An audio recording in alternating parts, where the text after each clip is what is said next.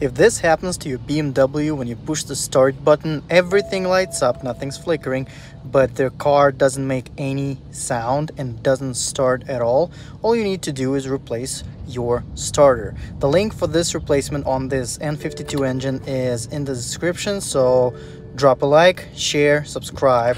Thank you guys for watching.